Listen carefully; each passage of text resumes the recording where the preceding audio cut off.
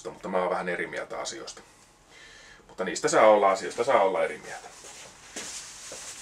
Ja meillä on tämmönen, me käytetään tässä tota, digimittaria, elektronista mittaria. Se on hyvä silloin, kun tehdään paljon moottoreita ja se on nopeampi käyttää. Ja sitten ihan yksityisen käyttöön, että on vähän 20 vuotta jo nähnyt maailmaa tämäkin mittari, ehkä ylikin.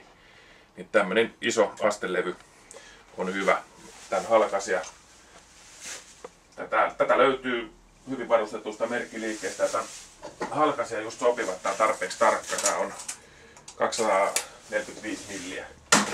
Ja tää ei maksa niin paljon ja tää on teidän omassa käytössä tosi hyvä. Ja siihen vaan tehdään sitten sopiva lanka sitten tänne tuennaksi. Katsotaan asteko ihan samalla kuin tässäkin digitaalisesti. Otetaan toinen äärilaita ja sitten otetaan nolla kohta, katsotaan lukema ylös ja mennään toiseen laitaan ja katsotaan sitten ja lasketaan paljonko sieltä tulee asteita. Tämä riittää ihan teidän omassa käytössä. Silloin kun tehdään enemmän vuosia, niin silloin kannattaa tuommoista digitaalimittaria käyttää. No niin, otetaan ensimmäisenä pakoajoitus. Sitten tarvitaan kynä ja paperia. Nämä kaikki kannattaa kirjata. Mulla on aina paperilla nämä ylhäällä. Täältä otetaan pako. Mä laitan nyt ruutupaperille. Mulla on kyllä oikein virallinenkin kirja. Eli pako, pannaan imu ja huuhtelu. Ja sitten lähdetään ottamaan, eli mäntä lasketaan alas niin paljon, että päästään tämän luiskan kanssa. Tämä luiska on 0,20 paksu ja se on tehty tuommoista rakotulkista ja se kavennettu 6 milliä. Ja 6 milliä on raketissa se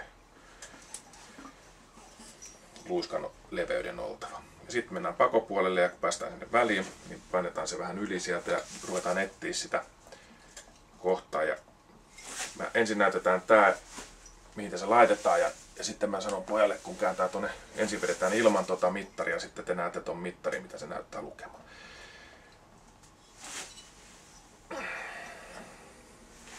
nyt editään sitä kohtaa ja nollataan mittaria ja katsotaan, että löytyykö siellä helpointa miinuspuoli nyt. Nyt löytyy, mä vähän painan itse rajummin sen takia, että ei ainakaan jää sitten siitä kiinni, että katsastuksessa olisi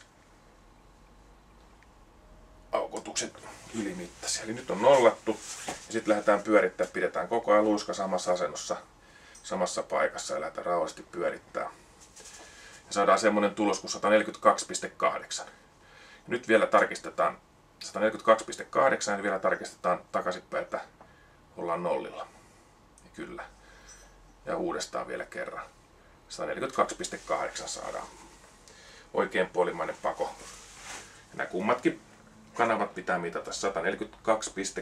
142,8 merkataan ylös. Nyt samalla lailla katsotaan toinen puoli. Ja nyt poika voisi ottaa sitten seuraavaksi tonne mittariin niin kuin kääntää sitä, niin näette miten digimittari. Eli täältä etsitään nollakohtaa. Nyt löytyy, jos menee miinuksen puolelle, niin silloin se on, pitää nollata. Tuosta löytyy nollakohta aika lähelle. Siinä on nollakohta, että aika lähellä on lähtö ainakin sama kuin toisessa oikean puolimassa pako. Sitten lähdetään pyörittämään taas samalla kuin tuostakin puolta 142.8, 42.9 ja sitten tarkistetaan vielä takaisinpäin. Kyllä olla turvallisilla vesillä. 142.8 oli myöskin toinen. Ja näitä on, kannattaa mitata, koska näissä on eroja näissä. Toisessa on pakoukossa voi toista astetta olla eroja. Ja nyt sitten palataan mennään tänne imupuolelle ja imupuolelle mennään niin, että mäntä nostetaan ylös niin paljon, että päästään imupuolelle. Täälläkin kummakin puolet on pitää mitata. Ja taas mennään samalla kuin pakopuolella pannaan mittari ja nolli.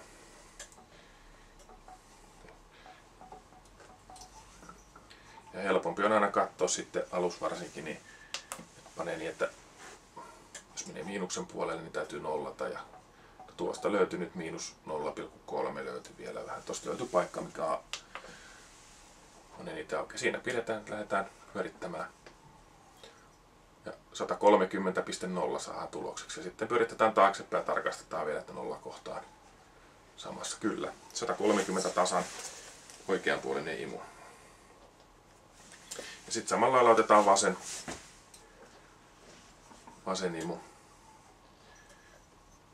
Jaettu kahteen osaan näin. Katsotaan sitten, että siellä on tässä on aika hyvin nämä tässä koneessa näköjään nämä aika lähellä tasakanavarrella ainakin täällä imu ja pako. Täällä on 0,1 eroa täällä lähdössä, että se nyt on niin mitätön ero, että periaatteessa tarvitsisi nollata, mutta katsotaan nyt oikein tarkan päälle sitten. Tää näyttää sitten niinku 129,7. Pikkasen ero on, mutta se on niin mitätön ero. Ei oikeastaan merkitystä. Ja sitten voidaan mittaa huuhtelut. Ja huuhtelut luokitustodistuksessa käsketään mittaa täältä, joka on aika mielenkiintoinen paikka, koska tästä täytyy olla tosi tarkkana. Tämä helposti tämä on ahdas paikka ja helposti kääntyy tämä mitta tota, lintalleen ja sieltä tulee aika monia erilaisia tuloksia. Me itse tarkistusmittaan sitten näytän tuolta, tämäkin kääntyy tämä mitta vinoa. Mittaan tuolta tulpareistä itse niin. No niin, me ollaan nollassa. Ja sitten me lähdetään, ja täällä on 109,4. Oikein puolimmainen 109,4. Ja, ja sitten otetaan vasen puoli. Täällä on pieni ero, mutta tää ei ole kauhean tarkka mittaustapa mun mielestä tää. Kyllä täällä osviittaa saa, mutta täällä ollaan 109,1. 9,1. Ja sitten me voidaan katsoa, tarkistaa tällä toisella mittaustavalla. Otetaan tää tulpareijan kautta nuo huuhtelukanavat ja siinä on taitettu tää tällä lailla parasta on, mulla oli semmonen, on semmonen tikku, mutta se on hajonnut, että pitää tehdä uusi, missä on tämmönen luiska liimattu siihen kiinni ja niin, että pystyy painamaan ton männän mukana sen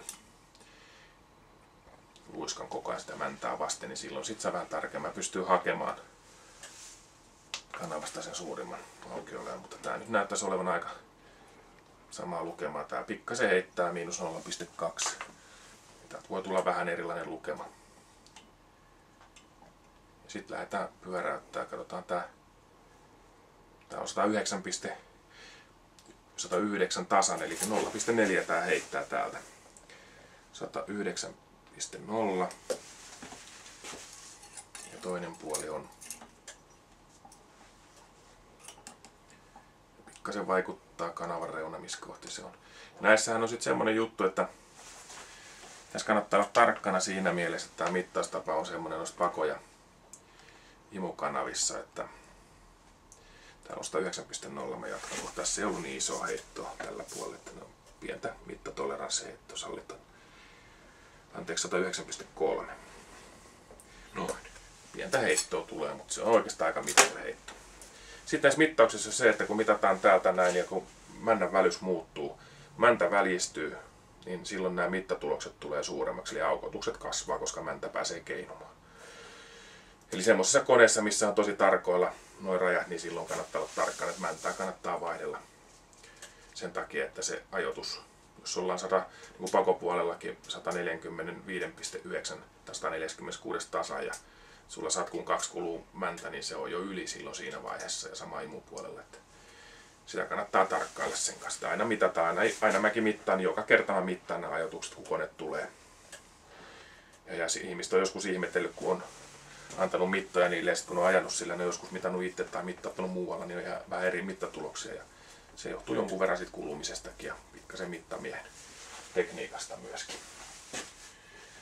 No niin, nyt on mittaukset suoritettu.